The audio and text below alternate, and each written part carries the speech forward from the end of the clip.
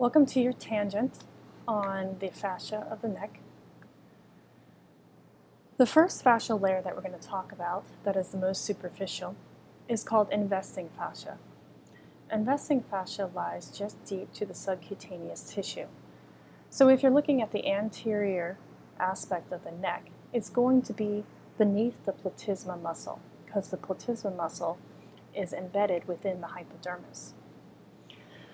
The interesting thing about the investing fascia is that it splits to enclose both the trapezius muscles and the sternocleidomastoid muscles, both of which are innervated by the same nerve.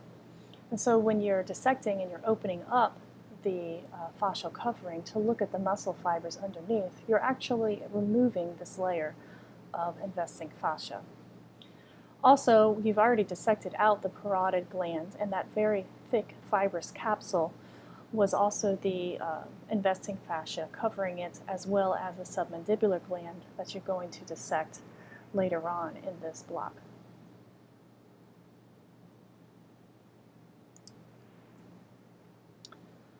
Okay, specifically the attachment points for the investing fascia.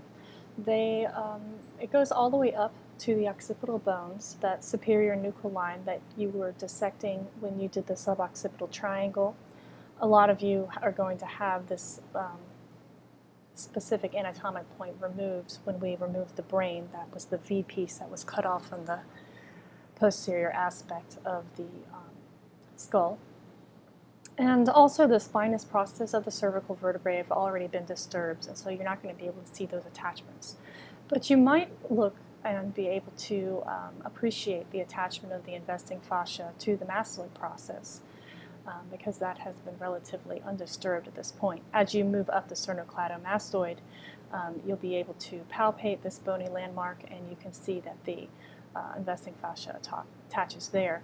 Um, most of you have already removed the fascial covering over the zygomatic arches because we already dissected the infratemporal fossa and the inferior border of the mandible as you looked for the facial nerve, you probably also disturbed that as well. So this picture, though, um, gives you a good idea um, here of where the investing fascia was located, although pretty much in this area is the only area that you're going to still see it in your cadaver when we dissect today.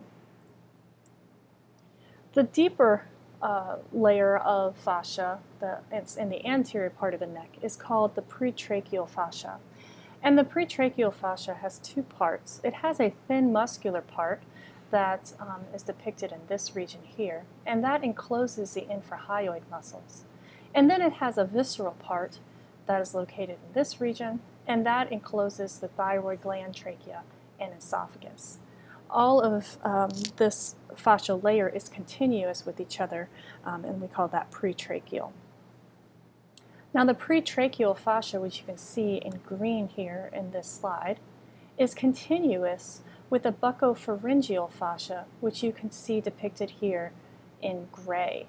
The buccopharyngeal fascia is um, the fascial layer that is around the pharynx. Now you'll be able to really appreciate the buccopharyngeal fascial layer when we disarticulate the head and you can see how it's continuous with this pretracheal fascia. At this point, when you're just sort of getting into the neck from the anterior and lateral aspect, you don't really get a full appreciation for the pharynx. Now, the interesting um, part about this uh, pretracheal fa fascia is if you move inferiorly, it actually blends with the fibrous pericardium. And so um, the continuation of these fascial layers with structures in the thorax is a potential for spread of infection and extravasated blood. And um, so that'll give you an indication if you have an infection in uh, a certain area where it could potentially travel to. So um, when you're dissecting the infrahyoid muscles um, and pulling um, apart the pretracheal fascia, you'll notice that there are some thickenings of this fascia layer. And it's important for keeping a couple muscles um, stationary in the neck and giving them a different pool of uh, direction and changing their lever system. One is the digastric muscle. Uh, that muscle has two bellies and it is fixed in place by something we call the intermediate tendon. And so that tendon is actually a thickening of the pretracheal fascia, so look for it in lab. And the other muscle is the omohyoid muscle, also has two separate bellies, and it is held uh, in place um, by the pretracheal fascia um, and it thickening at that location. And you'll notice that when you dissect that area, that muscle kind of flaps free, and it's, it's, um, it can even be difficult to remember where it belonged after you've already um, disturbed the pretracheal fascia. The next fascial layer is called prevertebral fascia. And this is the deepest layer of fascia, um, respectively, to the pretracheal and the investing. Now, it, actually encloses the uh, vertebral column and the associated musculature and blood vessels and nerves um, that uh, lie just lateral to the vertebral column. So you'll see muscles that we haven't seen yet. Um, you can really appreciate from uh, looking at the atlas, like the longus colli and the longus capitis. Uh, and you'll also see muscles attached um, and being ensheathed by this fascial layer, uh, the scalene muscles, which will be really important for locating other structures of the neck, and some other um, deep cervical muscles as well.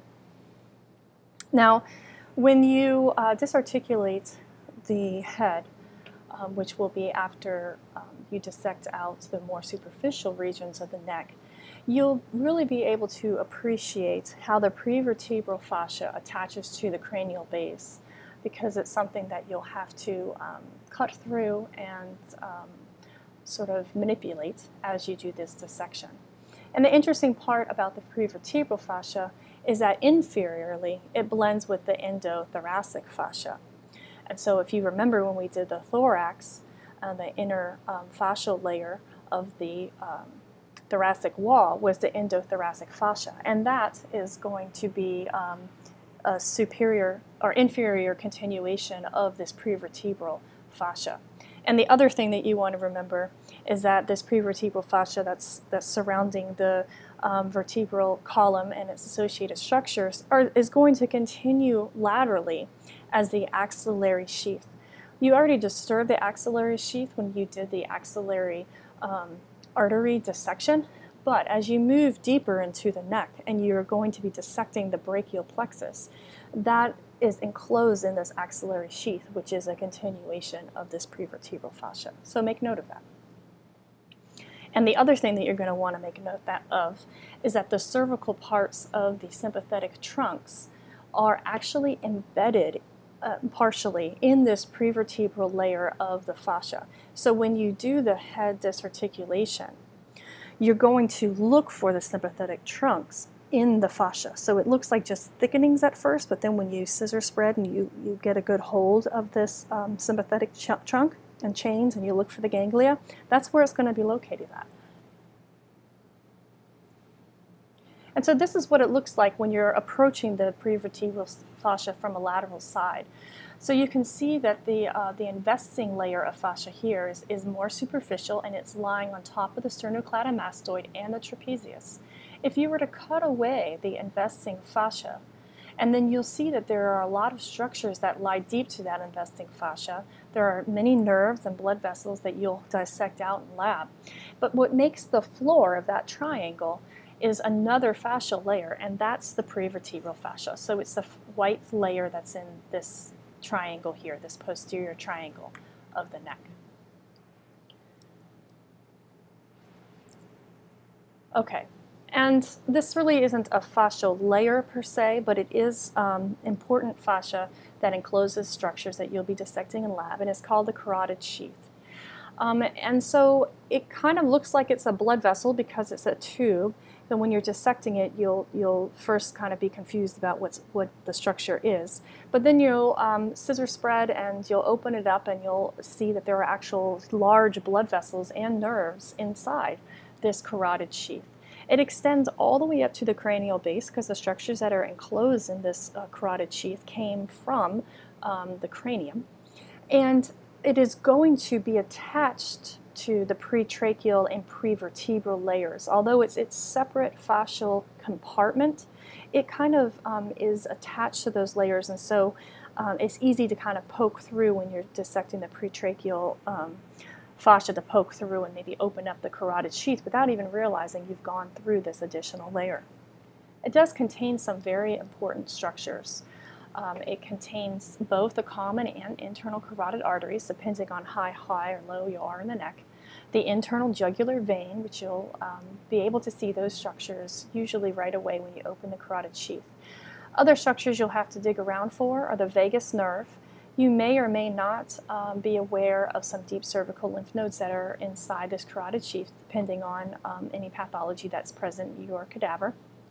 Um, and if you're very careful in your dissections, you might be able to find the carotid sinus nerve coming from the glossopharyngeal nerve.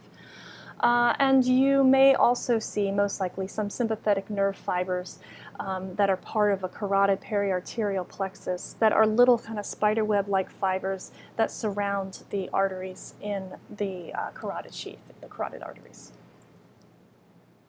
Okay, and that's for your tangent. Um, if I found the fascial layers of the neck um, kind of challenging at first, and so I wanted to uh, have a little more detail part of this lecture, but I didn't necessarily want to take uh, 30 minutes or 24 minutes out of the lecture to go over all these fascial layers. And um, I hope that it was helpful for you, and I hope that it helps you in your dissections in lab. Thank you.